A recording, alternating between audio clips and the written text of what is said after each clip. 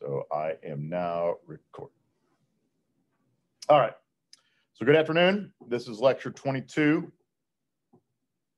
Uh, the last lecture uh, for AEC 441.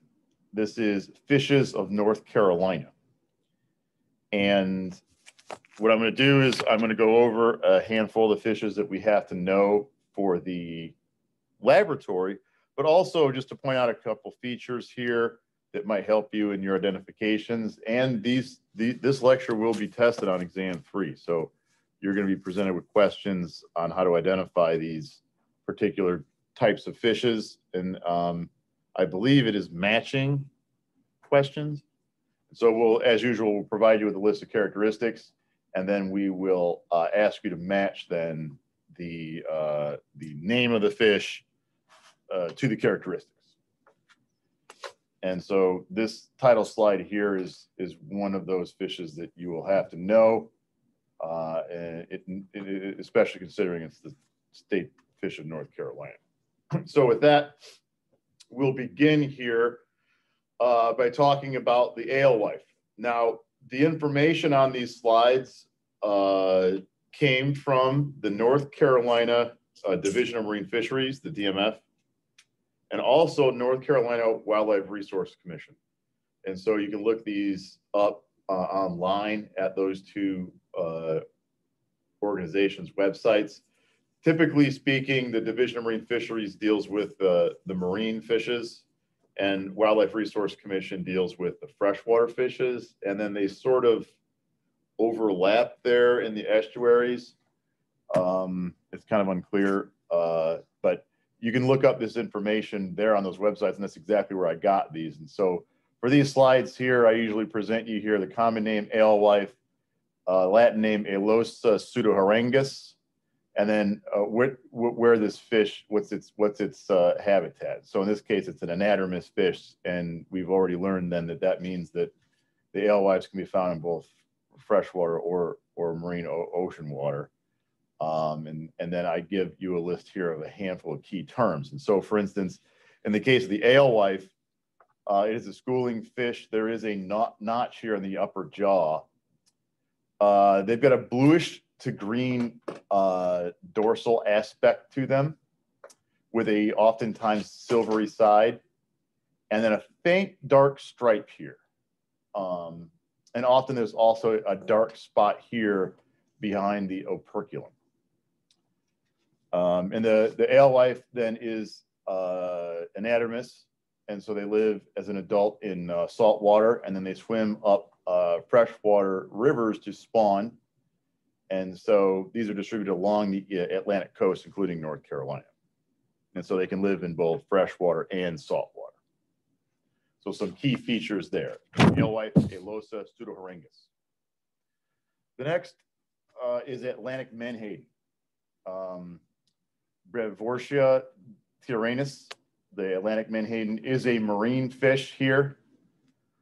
Uh, they have a deeply forked tail or a caudal fin. And oftentimes, uh, I like to consider a very diagnostic feature here, this single dark spot here on the shoulder, often then followed by two or, or even three rows of irregular spots here uh, on the, the side of the fish. Um, uh, these are oftentimes uh, popular bait fishes.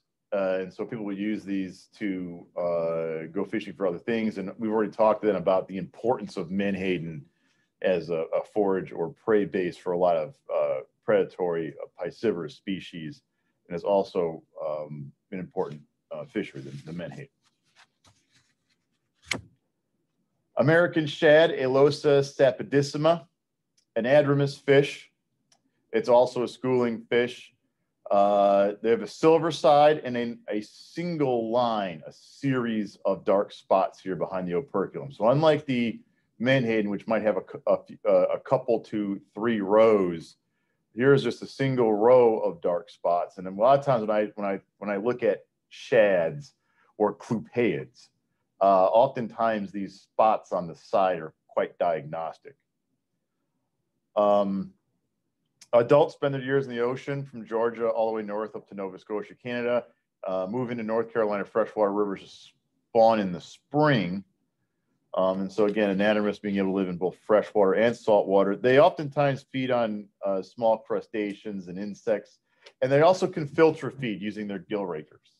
And so there's a little bit of filter feeding go there. Also a valuable commercial fishery, um, highly prized for the flesh and roe. And so anyone who's eaten American shad, they're very good. They're kind of bony, uh, and so they're difficult to eat for some people, but uh, they're very good tasting fish. And a lot of times also the people will eat the ovaries uh, or the roe.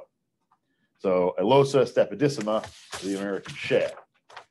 The gizzard shad, uh, Dorosoma cepedianum, freshwater fish. And again, when we were talking about these clupeids, noting the spots, the gizzard shad is a single spot here, uh, not a, a, a series, not multiple rows, but a single spot behind the operculum with a silver to gold uh, aspect on the side.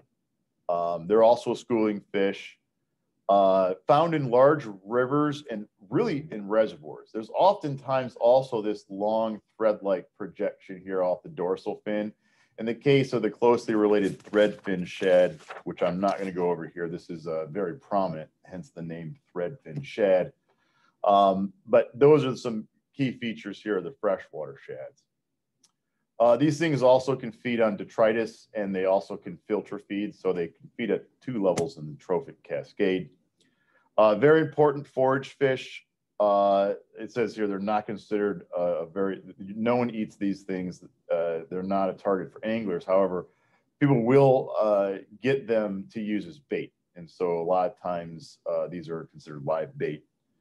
Um, and they're very important forage for predatory species such as largemouth bass and hybrid striped bass, especially in um, rivers uh, and reservoirs in particular, where they're stocked intentionally in some cases as a forage base. So Dorosoma cepedianum, the freshwater gizzard shad, and they're actually called a gizzard shad because the gut contains a gizzard and so they're kind of like birds in this regard. And, and part of that gizzard is to um, help process uh, the detritus that they consume.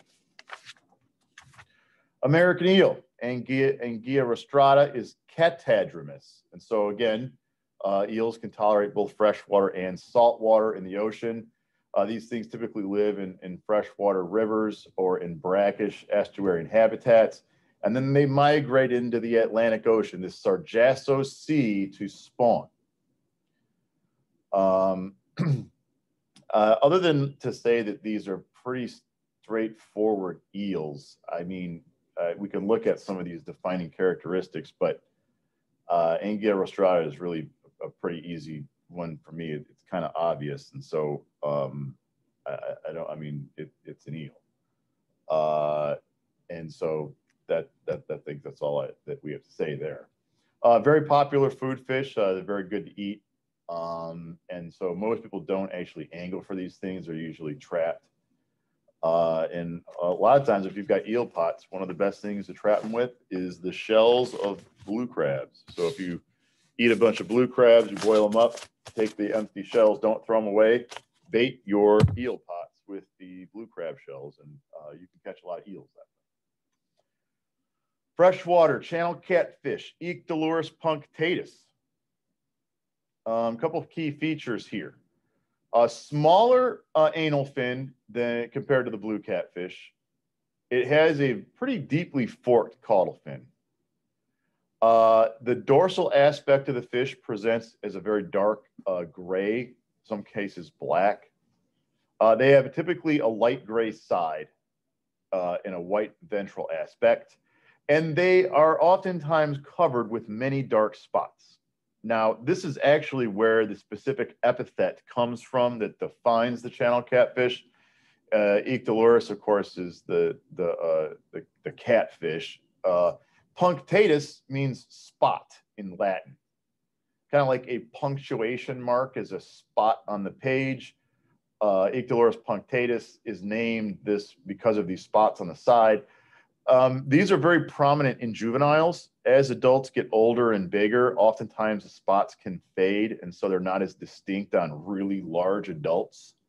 But it still is a, a major characteristic. There are those, those spots on the side. Uh, these are omnivores. They eat pretty much anything. Um, they can also be found in rivers, streams, ponds, reservoirs, wherever. Uh, they're they're pretty hardy. They're pretty tolerant.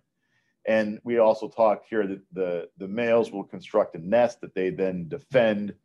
Sometimes this is the undercut uh, area of a stream bank or a, a, log or a hole where they uh, will defend the nest. And some people go in there and try to grab the catfish and wrestle with them and, and noodle, noodling the catfish or whatever um, as, a, as a form of sport. I've also heard it called grabbling. Um, uh, and so Ictalurus punctatus, the channel catfish, freshwater.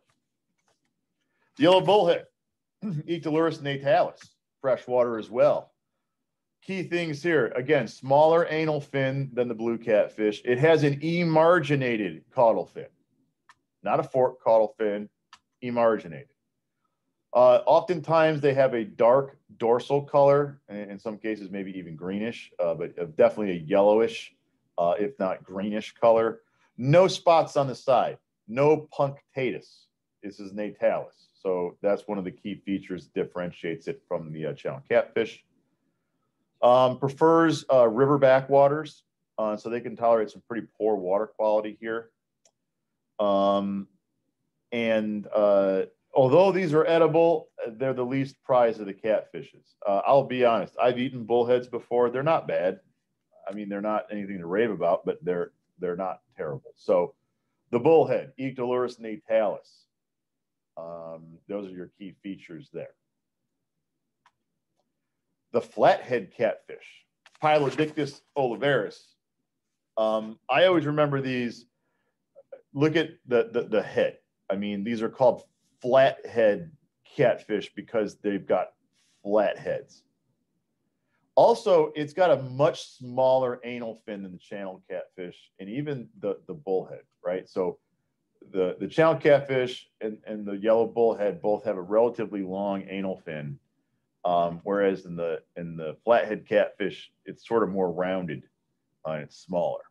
These also have an emarginated uh, caudal fin and they have kind of a dark mottled uh, coloration on the side, like browns and tans and grays.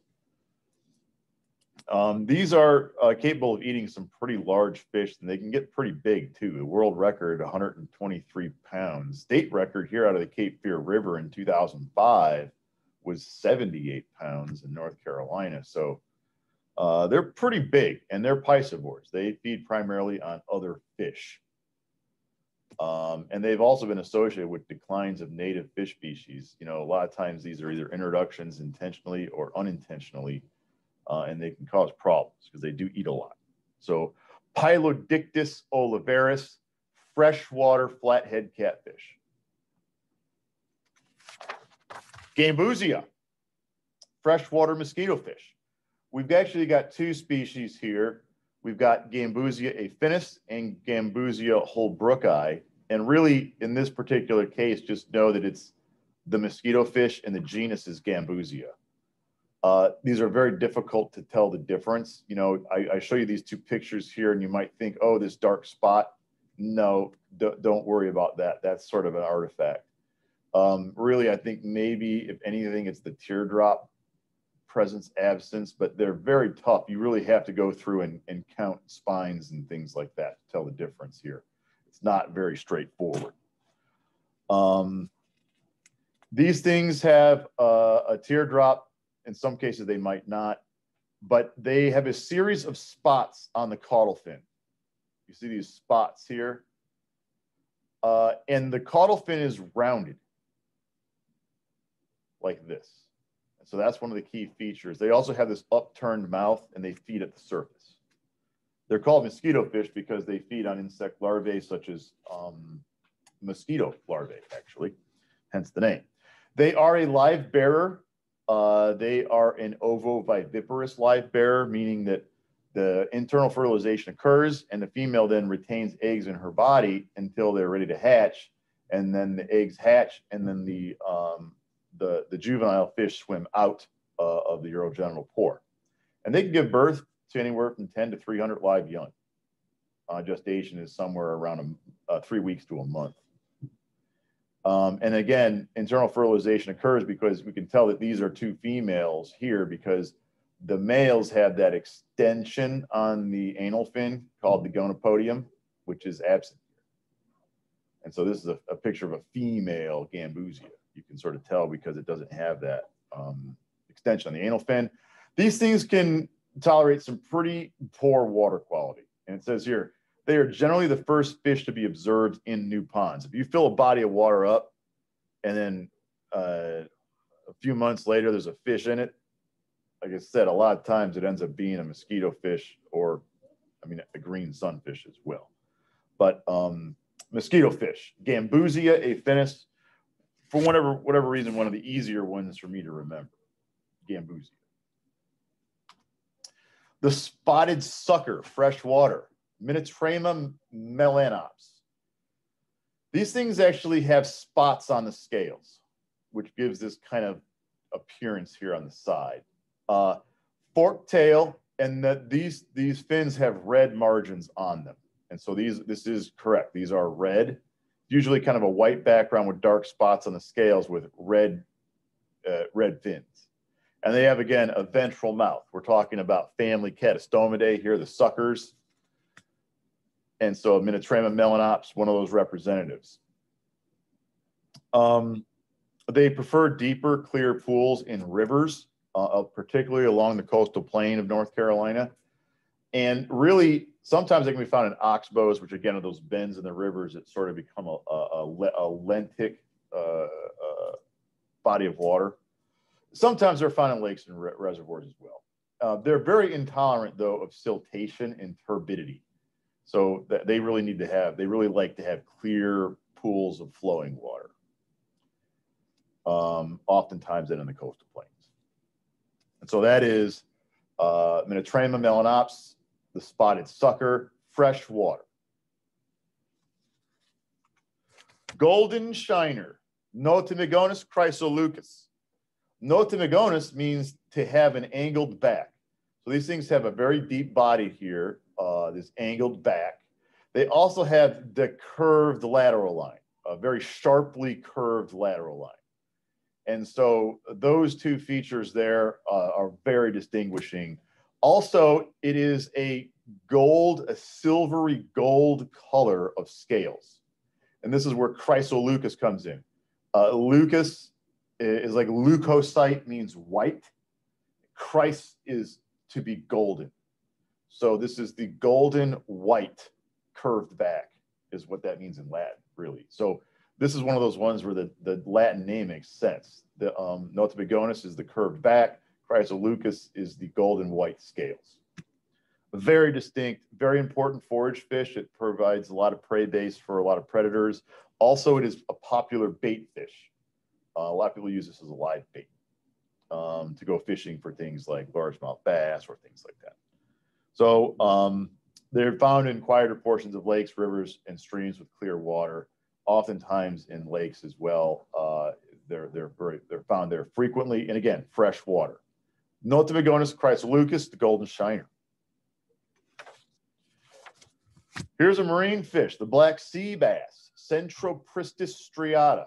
Now, I'm going to say it's, it's a perciform. It's got all these typical characteristics of the perciforms, hard spines, soft rays, hard spines in the anal fin.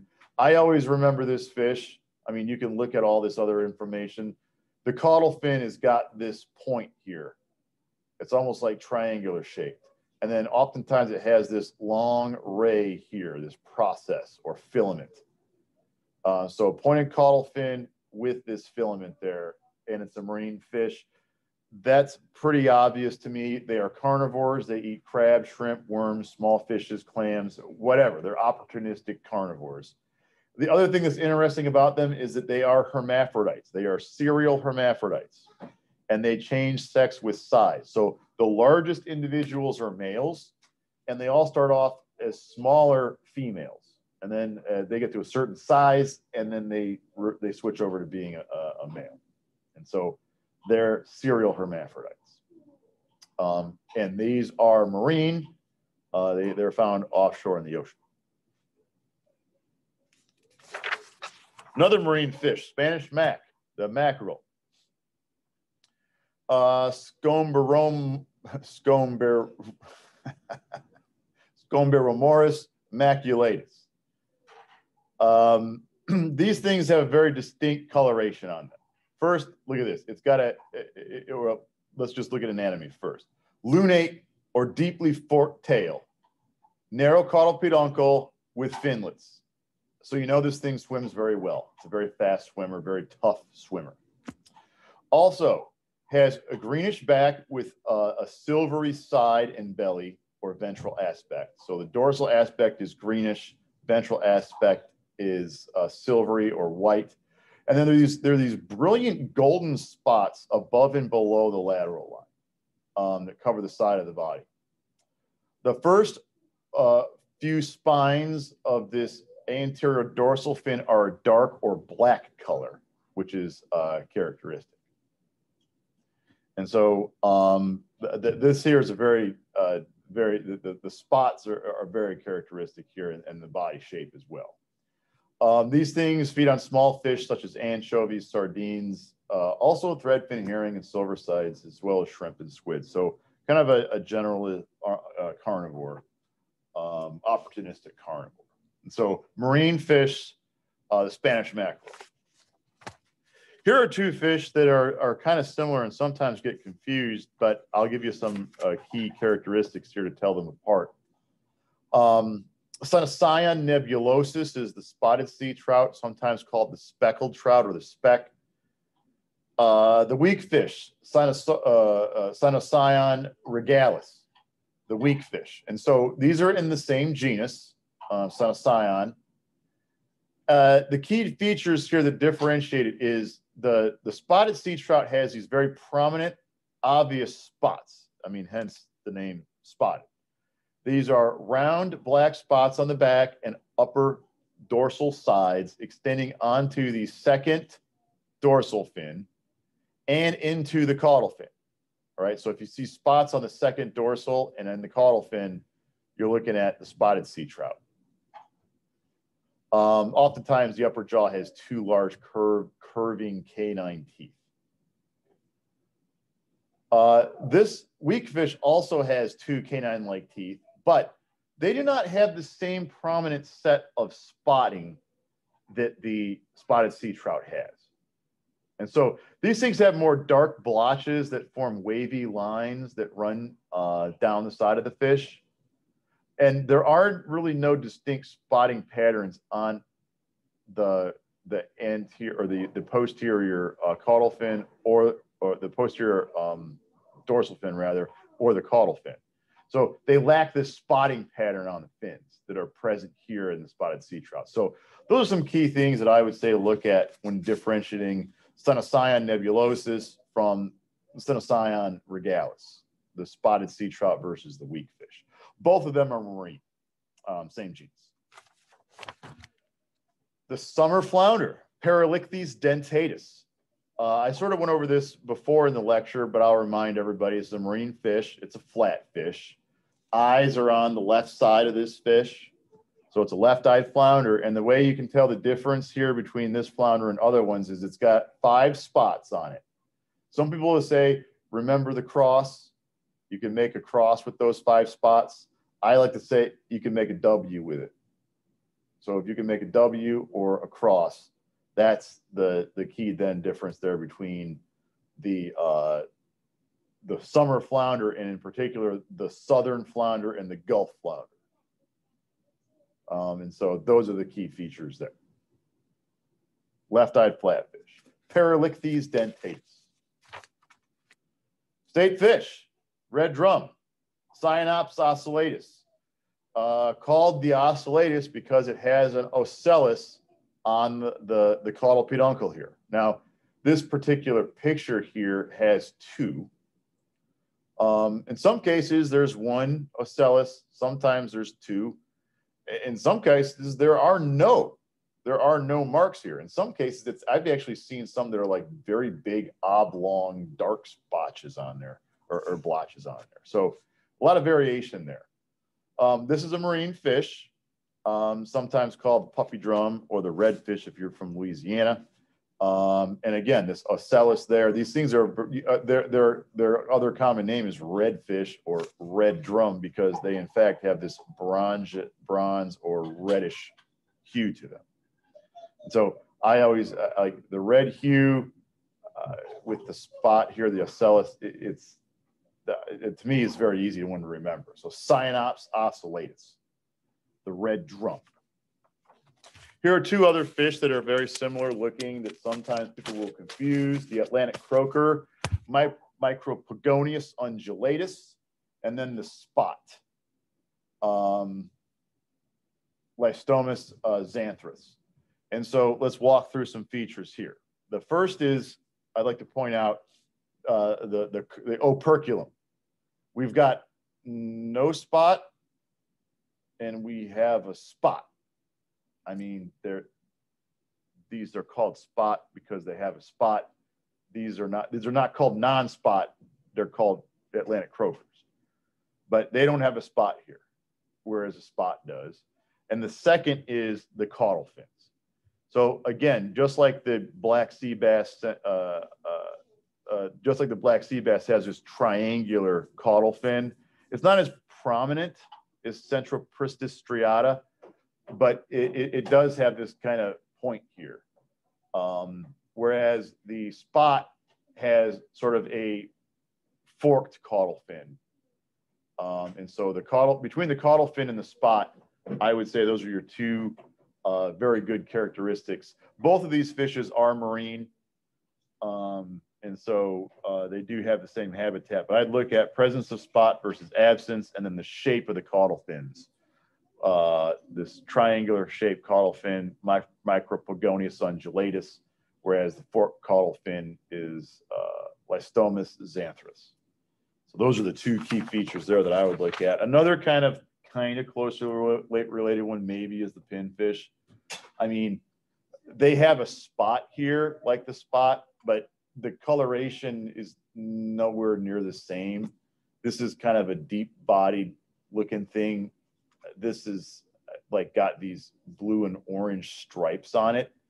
And if you look, the the height of the dorsal fin is is is totally different. So I don't really get spot and and pinfish confused in that regard. Also, the pinfish has a pretty deeply forked caudal fin um, in comparison and um, they have this antrorse spine here. The first spine on the dorsal fin anterior points forward, hence the name pinfish, because a lot of times you end up getting poked by this if you go to try to grab one of these things. So I, I always find this uh, Lagodon um, rhomboides, I always, I don't really find a, a difficult time differentiating this one. So black spot on the gill cover, really yellow and blue horizontal stripes, and then four or five vertical lines here. Um, and again, the, the, dorsal fin is not nearly as high in aspect compared to, say, uh, the spot. So also marine, that is a pinfish. Lagodon rhomboides. The greater amberjack, marine fish, Seriola dumeril. Uh, the greater amberjack.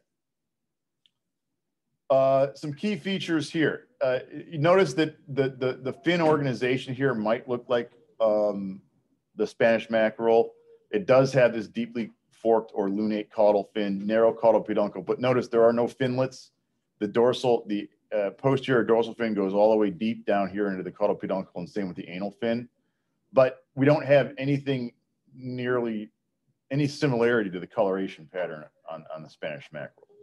These amberjacks have a dark stripe here that sort of uh, begins here at the base of the dorsal fin and then runs right through the eye. So this dark stripe here is, is characteristic um, for me. And uh, occasionally there's a, like kind of a, a bronze, pink, or amber kind of color to the body. Um, and so I think that these are relatively uh, straightforward.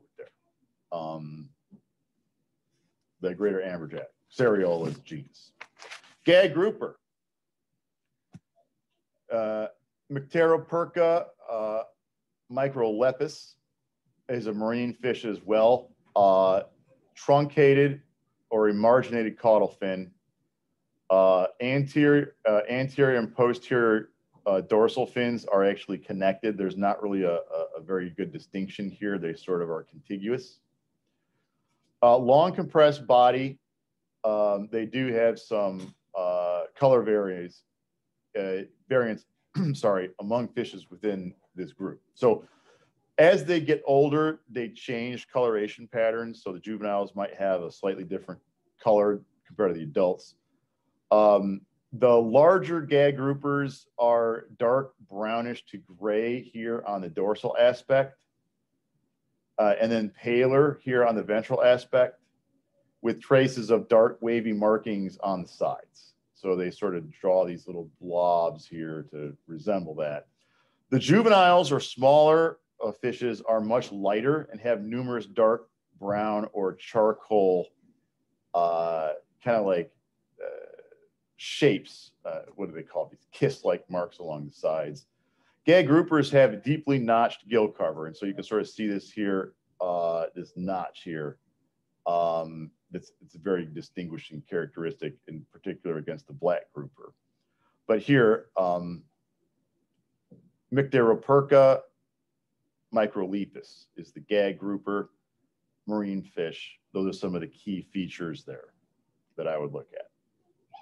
Oh, and one last thing. They actually also are hermaphrodites and they change from female to male as they get larger. So like the black sea bass, uh, the smaller individuals are females, and then as they get larger, they'll then switch to males.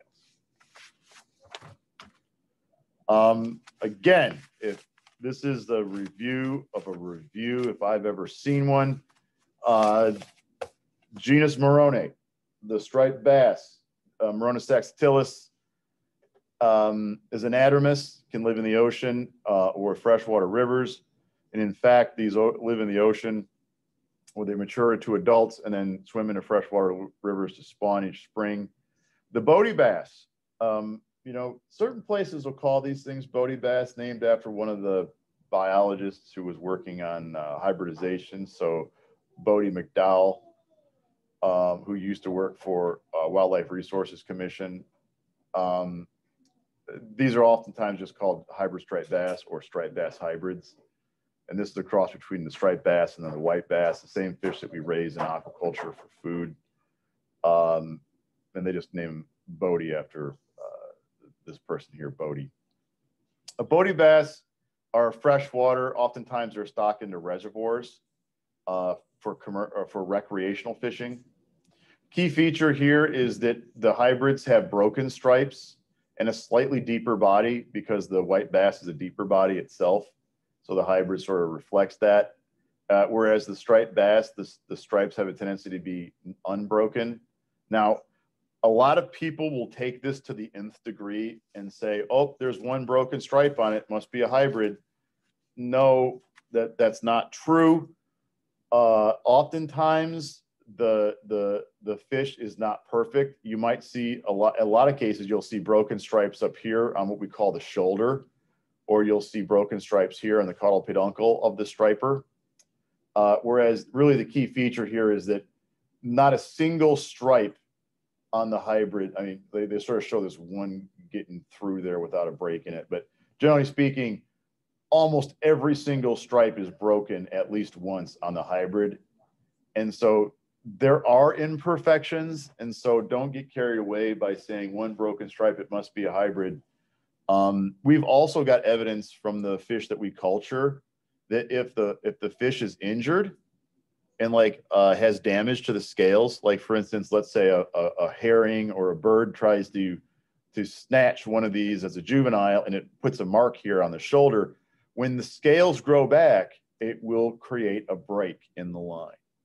And so a lot of times that could be uh, broken stripes on the striper can be due to, um, uh, for instance, surviving a predation event or something. So that's the key features there. Morone saxatilis by then uh, Morone chrysops by Morone saxatilis, the hybrid striped bass. And we do not call this a species. Um, this is in fact a hybrid. It is a creation. It's a Frankenstein's monster. So it's not a species, it's a hybrid striped bass. So sometimes people say, oh, the different species of Morone and throw this one in there. We usually say the species of Morone and their hybrids is the proper way of, of saying that. So that is the uh, striped bass and the hybrid striped bass. Largemouth bass uh, is, again, like I mentioned in the lecture, is not a bass, it's not a true bass. It's a, it's a sunfish or what we call a black bass. Uh, more closely related, for instance, to this to the bluegill than they are to the striped bass. Um, typical perciform, uh, anterior hard spines, posterior soft rays, and dorsal fin.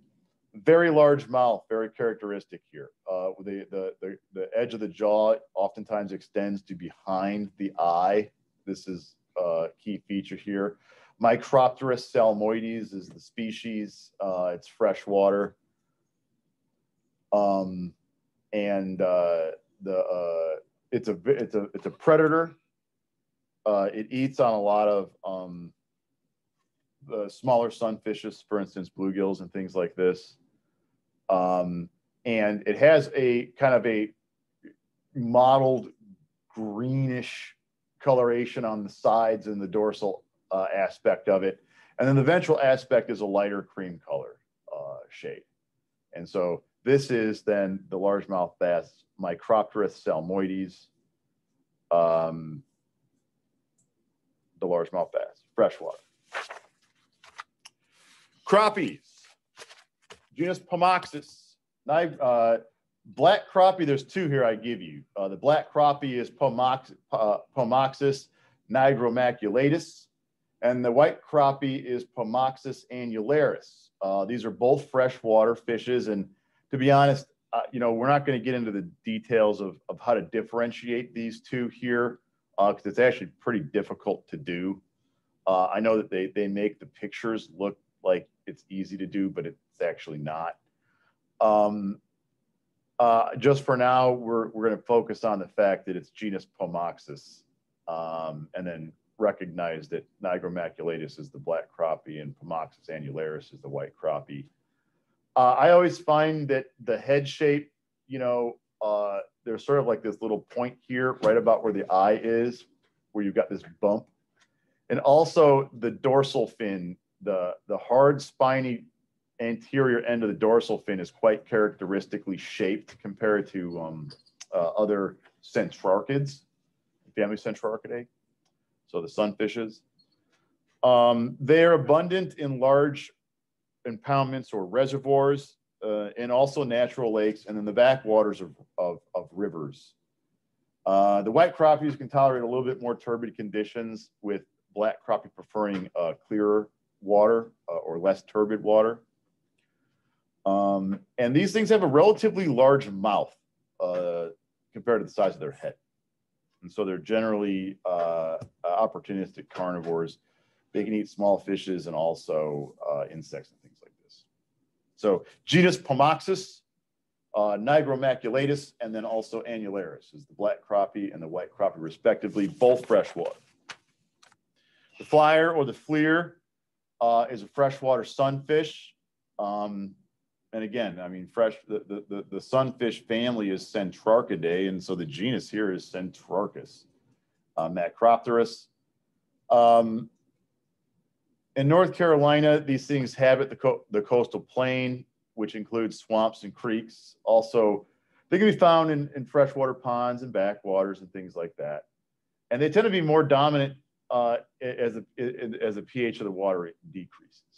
Um, and so they're occasionally found in the, uh, the Piedmont section of North Carolina, um, although Centrarchus macropterus is mostly a, a, coastal plains fish. They feed on small fishes, uh, insects, other invertebrates. Again, most of the sunfishes are sort of generalists. But again, fresh water. And, you know, it says here, sometimes confused with black crappie. Uh, you know, maybe. I, I mean, they do have kind of a similar shape, but their, uh, their head shape and their eye and their mouth and things like that are all different proportions compared to the crappie. They might have this similar dorsal fin, but their coloration is really, when we look at the crappies, they really are black and silver and gray. And these things here have a little bit more of the earth tone coloration to them. And so to me, they're always relatively distinct. Uh, for instance, uh, you know, any kind of colors like oranges or things like that, um, I would say that they're they're pretty distinct. Also, the the Centrarchus has this eye bar here, um, which you don't really see the eye bar here in genus Pomoxis. Much larger eye, much larger mouth in relation to the size of the head. And um, much larger eye, much larger mouth, okay?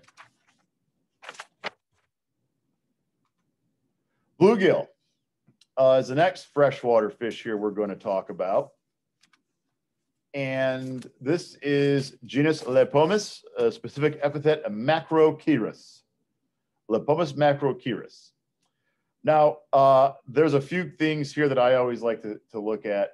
The it's a freshwater fish. These things are found all over the place. You know, rivers, ponds, reservoirs. I mean, they're very much uh, tolerant to all sorts of different water conditions. And um, when we look at this, uh, we look at this, um, there's often a dark ventral aspect, or a dark dorsal aspect, uh, which is like an olive color or greenish color.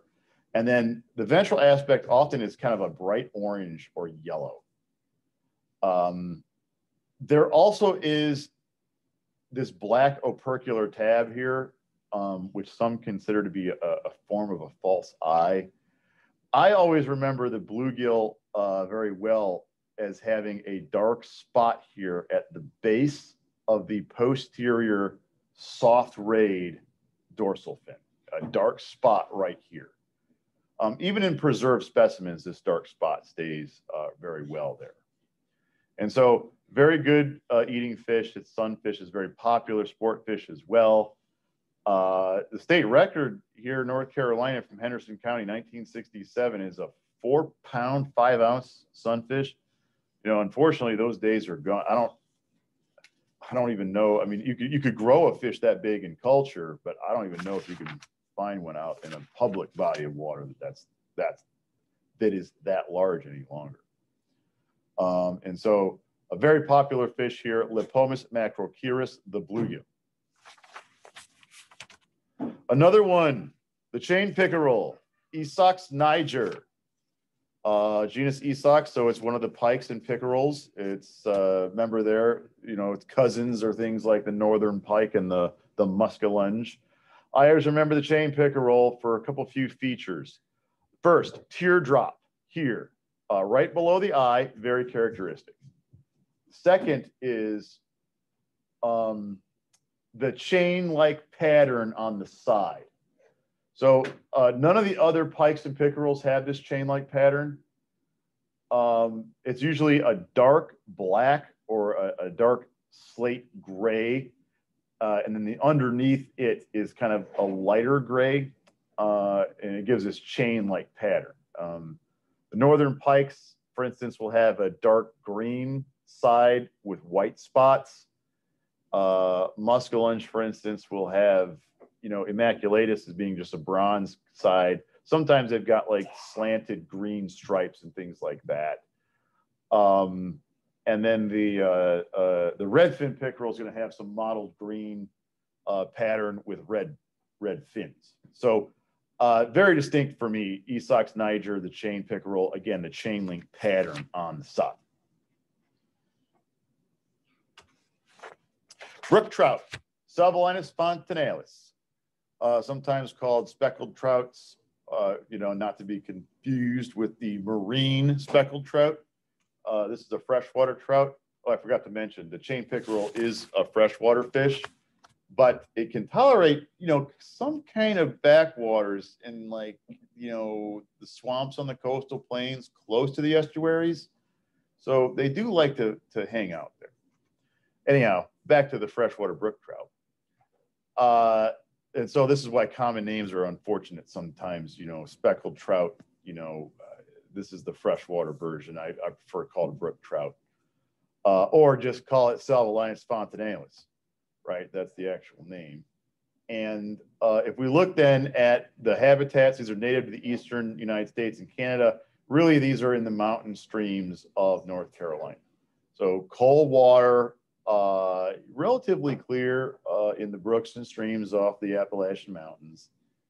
Um, key features here is a greenish brown, often iridescent coloration um, with light red spots on its sides, and it has dark, wavy, worm-like lines on the back and white edges on the fins.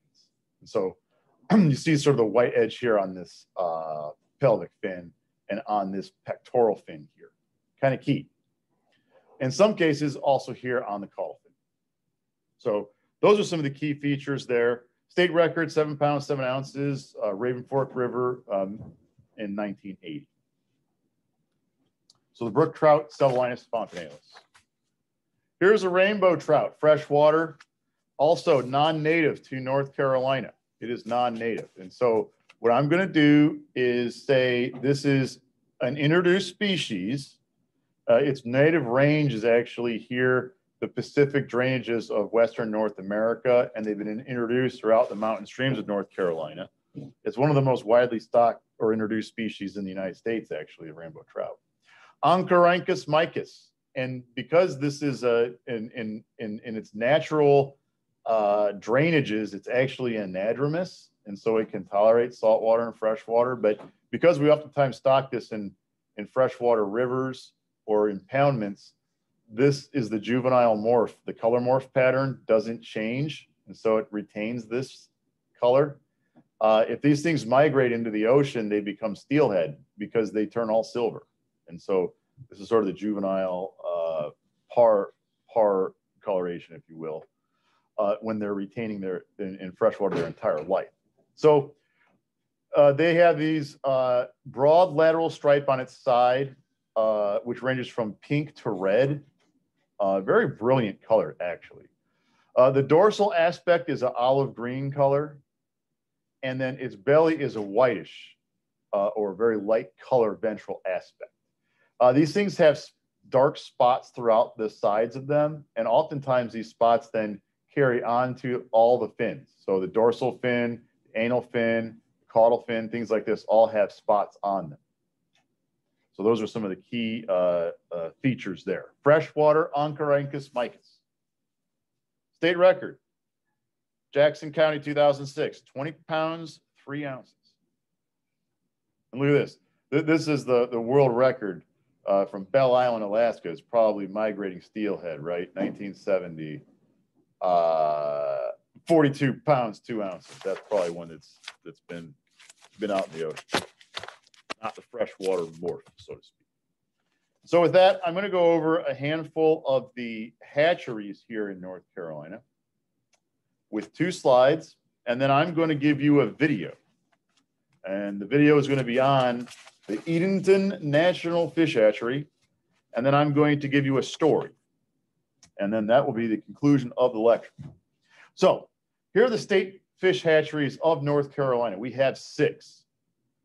Uh, there is a cool and cold water production hatcheries uh, here up in the Appalachian Mountains. So the, the western counties of North Carolina, this is the map of North Carolina broken down by county. Here's Wake. Uh, we've got one, two, three, four hatcheries here. And so that is the Marion Hatchery, uh, Table Rock Hatchery, Pisgah Forest Hatchery, and then Armstrong Hatchery are all uh, up there in the mountains. Um, these are for cool and cold water production. Now, we talked about things like this being stocked out of their native ranges. Well, how do you think they got there? uh, well, hatcheries make them. Uh, also, in order to enhance natural populations, for instance, of the brook trout like Salvelinus fontinalis, uh, we have hatcheries that do propagation of these fishes and then stock them into those rivers for uh, recreational sport fishing. So in the state of North Carolina, if you go and buy a fishing license, uh, the money that you use to buy that fishing license, along with any taxes that you pay, there's a fund called the Dingell Johnson Fund, also called the Sport Fish Restoration Fund. Uh, the federal government collects these these taxes that you pay on things like tackling, uh, tackle, like fishing lures and fishing line, uh, fishing rods and reels, marine fuel, all sorts of stuff that is related to fishing.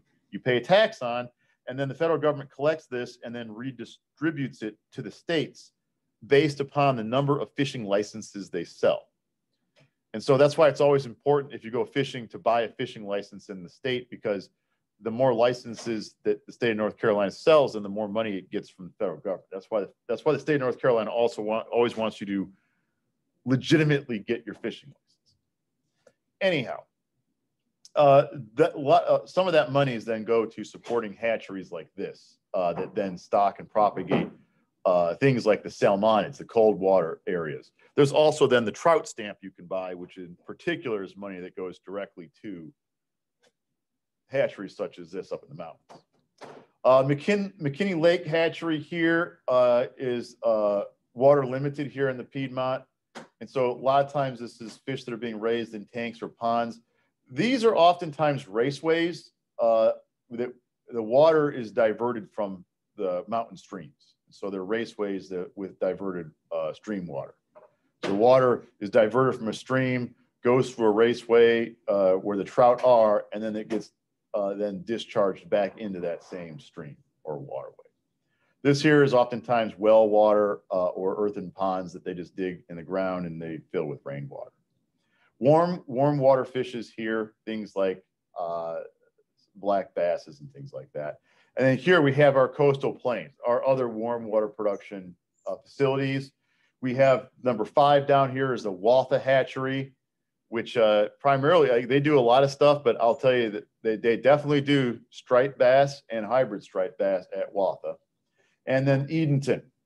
So uh, these hatcheries here in black are all operated by North Carolina Wildlife Resources Commission. So they are the state of North Carolina and they're supported in that regard and regulated by the state of North Carolina. Whereas the Edenton hatchery here is the U.S. Fish and Wildlife Service. So it's a federal hatchery. Uh, they also raise uh, striped bass and high, uh, uh, uh not as much hybrid striped bass. They do striped bass here at Watha. So we, are at Edenton rather. And so we've worked with both Edenton and Watha on various striped bass kinds of things. And so with that, I'm going to show you a video now on the Edenton uh, Fish Hatchery um, here in North Carolina. Again, U.S. Fish and Wildlife Service uh, operating um, in North Carolina.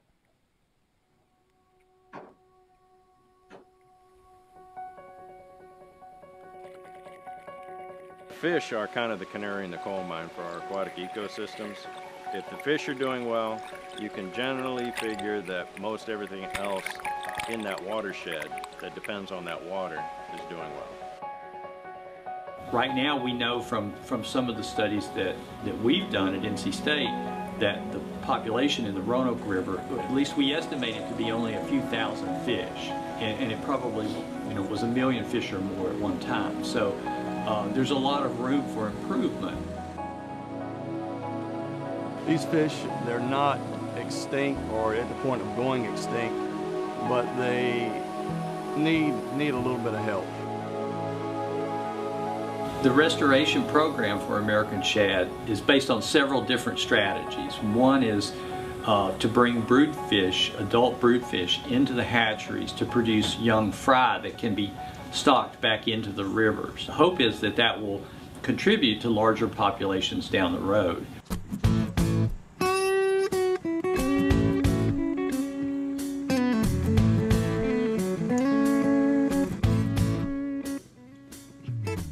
We're currently in our American shad production season. and we go to the Roanoke River, which is the river we're restoring, collect adult fish during their spawning run. Uh, the electrofishing temporarily stuns and draws the fish toward the current. We're then able to scoop the fish up and put them in live transport tanks to be transported back here to Edenton. We're, we're very particular about the water quality that the fish are in. We try to mimic uh, the natural system as closely as we can so the fish aren't under any stress. And part of that is monitoring pH, which is the acidity of the water, uh, the oxygen level, and hardness. When we bring in the adult fish, we take a fin clip from them for genetic analysis, and that's another way that we can trace the hatchery component of the population that's returning. By doing uh, genetic analysis of a returning fish, we can determine its parentage as well. Bring them back to the hatchery, put them in circular tanks, and generally over the periods of darkness, usually around midnight to 2 in the morning, the fish will spawn in the tanks. We'll collect their eggs the next morning. their eggs are then uh, run through sieves, two millimeter sieves. Eggs that are smaller than two millimeter typically are no good. We want to know how many of these eggs are eggs that are going to hatch or how many of these eggs may not hatch because we want to put accurate numbers in our river system so that the biologists, when they're doing their research on the rivers, they can assess how many fish are being put in properly.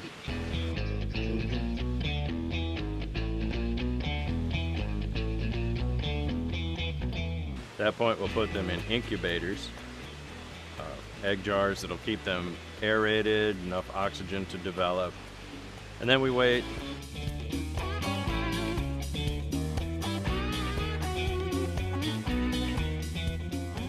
Once they hatch, they go into uh, circular rearing tanks that are about three feet in diameter. We feed them a diet of newly hatched brine shrimp. We'll feed them for about six days to get some growth on them, get, a, get some food in their bellies. Last year we stocked just under 4 million fry into the river and we got that from about 6 million eggs.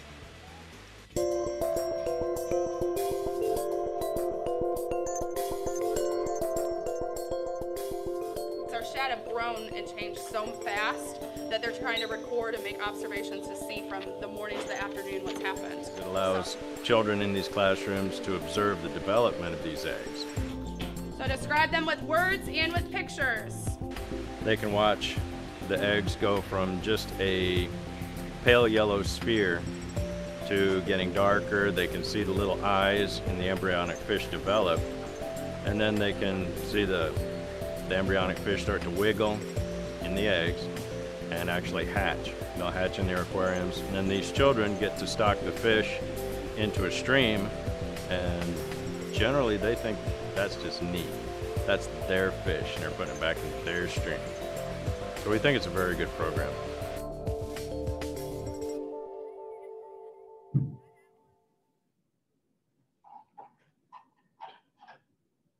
So to show you one spot here.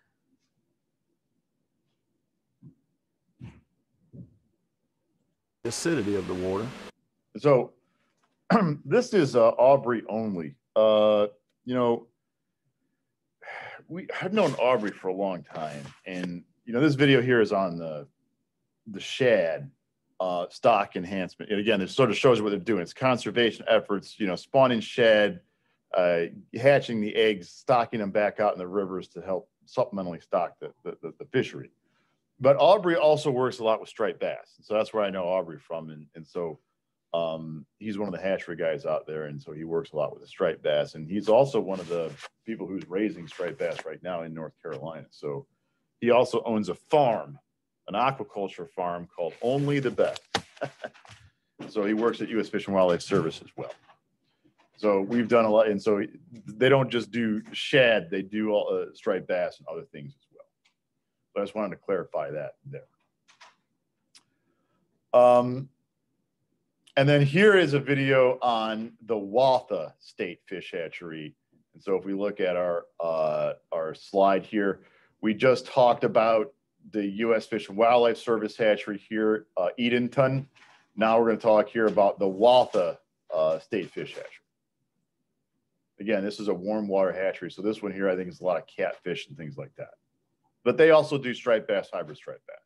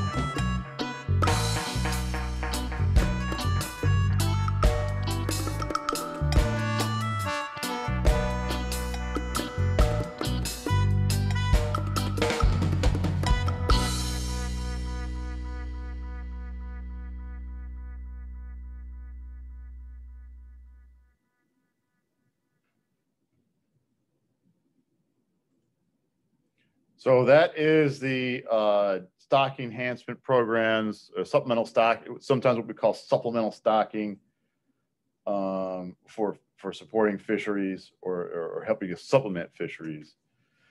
And then this slide here just sort of shows, again, a, a summary of those uh, state hatcheries of North Carolina, the what we call cold water hatcheries or the trout hatcheries, Pisgah Forest in Transylvania County, Armstrong Hatchery, McDowell County, Marion Hatchery, McDowell County.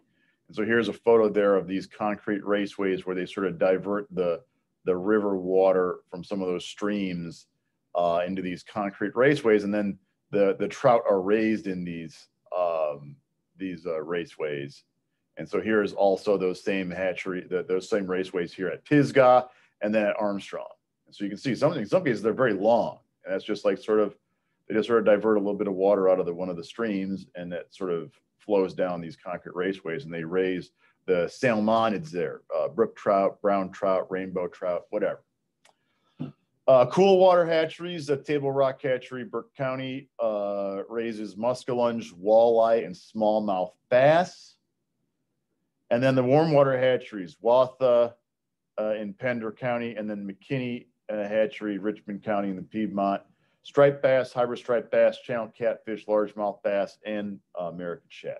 And so uh, these are the state hatcheries. Edenton's not on here because again, it's a federal hatchery. It's a U.S. Fish and Wildlife Service.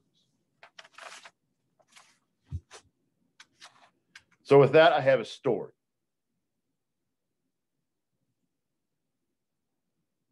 Uh, and this story was actually at the end of the, the last lecture and I apologize. I was supposed to, we talked about the fang tooth last time, uh, and this slide somehow ended up getting uh, on the end of this talk here, but uh, we're this is the last of your stories. Um, this is uh, Ciguatera poisoning. So you learned it here, AEC 441, Ciguatera poisoning. Now, Ciguatera is a foodborne illness that's caused by eating certain types of wild caught marine fishes. And I say wild caught because farm raised fish do not get Ciguatera poisoning. Uh, they, there, there's really no way to get Ciguatera toxins in uh, aquaculture. And I'll be honest, if you do, you, all your fish are going to die anyhow. So it's not like they're going to survive it. Uh, you know, because really, if, if you get Ciguatera on your your fish farm, you've essentially created a red tide, which doesn't last long in a tank because uh, it usually is pretty lethal. And uh, that's because certain marine fishes are contaminated with a toxin produced by these dinoflagellates, which cause red tides. All right. These dinoflagellates live in subtropical and tropical reef waters, particularly in the Pacific and the Caribbean. Uh, and so the disease was first described in 1774. And uh, these dinoflagellates like live on the coral and amongst the, the coral micro animals and algae, um, where they're then eaten by herbivorous fishes, or in some cases, uh, planktivorous fishes. And those, those herbivorous fishes, or I, I guess those, those first degrees in the food web, are then in turn eaten by predatory fish species. And those dinoflagellate toxins then bioaccumulate up the food chain. So the higher you are at the top of the food chain, the carnivorous fishes bioaccumulate this. And in many cases, carnivorous fishes are the ones that are most eaten by people. So uh, these are things like the groupers and the, the sea breams and the porgies and things like this. Um, and so uh, they bioaccumulate. Th- those are the ones that are then caught and eaten by people. So this is the this is the thing. Dinoflagellate toxins are odorless, tasteless, and cannot be destroyed by cooking. You can take a fish that has Ciguatera poisoning, fillet it, cook the fillet, and eat it. The cooking process does not destroy the toxin. The toxin is what we call heat stable or heat stable. Uh, symptoms of Ciguatera in humans include nausea, vomiting, and diarrhea, usually followed by headaches, muscle aches, numbness, tingling, involuntary muscle twitching, vertigo, and hallucinations. Kind of like a Friday night. the, the symptoms can last from weeks to years, and in extreme cases, decades. Uh, there is no effective treatment or antidote for Ciguatera poisoning. They just sort of note that you've got it and they sort of let it they sort of see how how, how it's going to last, how long it's going to last. Uh, global incidence annually is 20,000 to 50,000 people. Um, and so here's a picture of uh, Gambierdiscus toxicus. Here uh, is one of these uh, dinoflagellates that produce these ciguatera toxins. And again, these things just sort of live around on the reefs, and then they just sort of produce these toxins, and those toxins then bioaccumulate up the food chain. Now, a student uh, sent me a photograph uh, a couple, I don't know, two or three years ago, I forget. And it was a picture of a, a sign that was posted outside of a restaurant in the Caribbean. She was out there on vacation. And on the menu, it had barramundi. No, sorry, barracuda. I'm trying to read the, the, the, the menu here. Barracuda. And it says, barracuda eat at own risk. And again, the reason why Barracuda was on there at eat at own risk was Barracudas are a top predatory species. And so if there's going to be one fish out there that's going to have a bioaccumulation of toxins, such as Ciguatera, uh, Barracuda are examples of what those fishes might be. Barracuda also associate with reefs uh, where this is possibly happening. And oftentimes, when they put the eat at your own risk on there for Ciguatera poisoning, that means then that that at least one or two people have sort of felt, man, I ate that fish and didn't really feel so good. Um, and it's not like food poisoning where you get sick and, and you're just having nausea. Uh, like, look at here, it's headaches, muscle aches, numbness, tingling. It's like a neurotoxin, right? So, um, crazy symptoms. So, Ciguatera. So, whenever you're out and about, uh, always be careful of eating wild caught tropical fishes in certain locations because they can, in fact, uh, cause some problems. And Ciguatera is one of them. So if you ever see Ciguatera warnings, like posted on the beaches and stuff, if you think the mercury advisory is bad for freshwater fish, do not ignore the Ciguatera poisoning uh, warnings. So with that, I'll show here a brief video and I will then answer some questions about uh, any questions you might have about the lecture. So here we go, Ciguatera poisoning.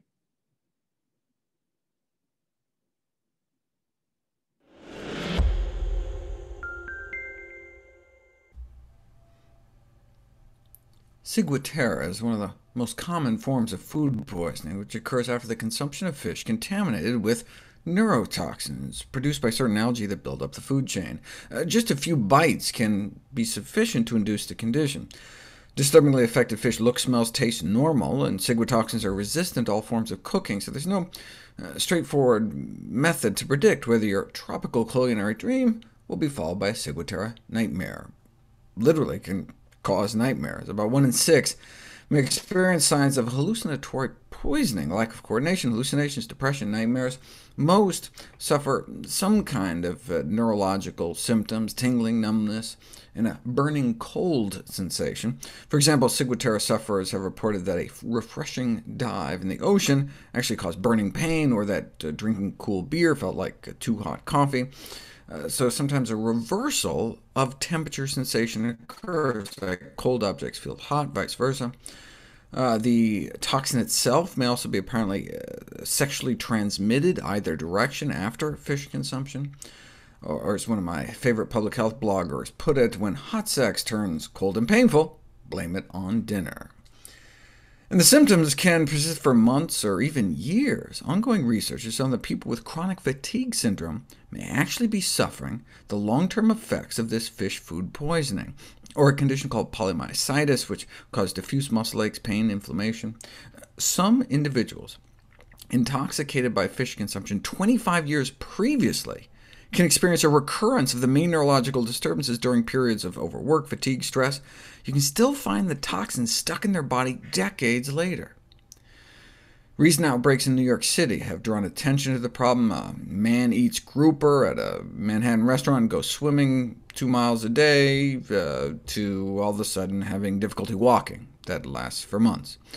Uh, but these aren't just rare anecdotes. Ciguatera fish poisoning affects an estimated 15,000 Americans every year, causing hundreds of hospitalizations, even a few deaths. And again, the toxins are colorless, odorless, tasteless, not destroyed by cooking. Therefore, CDC scientists suggest education efforts aimed at the prevention of seafood intoxication by avoidance of high-risk fish altogether. Uh, the AMA put out a similar advisory suggesting that the only way to prevent it is to avoid eating fish like red snapper or grouper. Uh, but the problem is that a third of fish sold in the U.S. is mislabeled, uh, so you don't know what you're getting. Uh, some suggest feeding a large fish flesh meal to a cat, treating them kind of a like a court tester, and if they're OK six hours later, you can dig in, uh, but this is considered inhumane. But if it's inhumane to feed it to your cat, how is it not inhumane to feed it to other members of the family?